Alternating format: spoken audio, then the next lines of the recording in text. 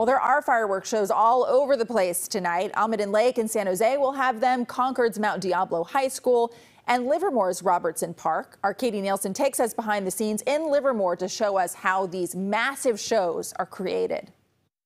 This is the setup for tonight's fireworks show. More than 500 mortars, all different shapes, sizes, colors, and effects, all for a 20 minute show, carefully choreographed by one pyrotechnician. I do it for love of it, and I've been doing it for almost 30 years. This is James Wolf, and his passion in life is fireworks. He can pick up any mortar and tell you exactly what it will look like in the sky. This right here is what's called a comet.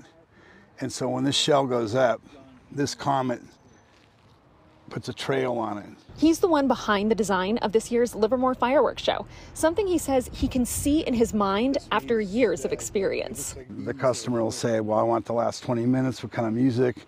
And then you just sit there with an assortment of shells and pick them out and say, at this, at this, on this beat, this timing, you want this thing to go off. He creates a list of each of the 500 shells in order.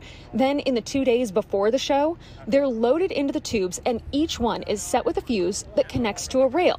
Then, during the show, James fires each and every one. It's the only reason I do it because I'm the person over there sitting there pressing the buttons. I get a big kick out of it. The fireworks business itself is fairly seasonal. Fourth of July is their biggest day of the year by far.